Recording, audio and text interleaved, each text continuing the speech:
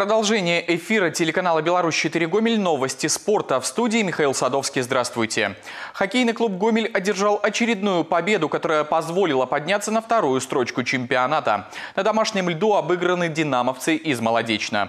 Поединок для рысей получился крайне тяжелым. Игра на протяжении всей встречи была равной. И чаша весов могла склониться как в одну, так и в другую сторону. Первыми вперед вышли хозяева. На 14-й минуте шайбу забросил Еронов.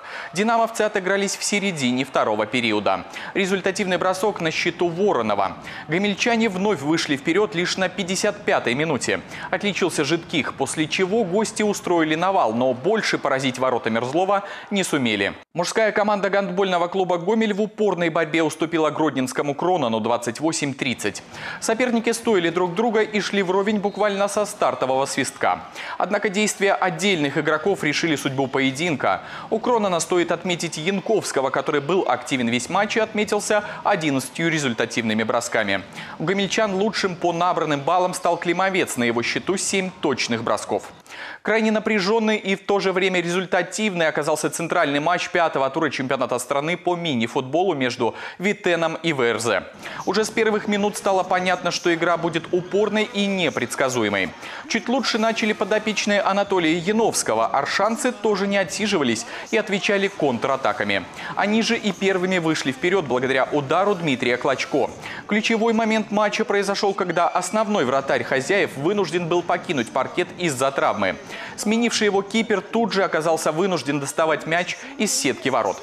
Отличный удар получился у Матвиенко, а через три минуты младший из братьев Клочко Евгений вывел вагоностроителей вперед. Далее в игру вступил Белый, который сумел оформить дубль и уже лидировали хозяева.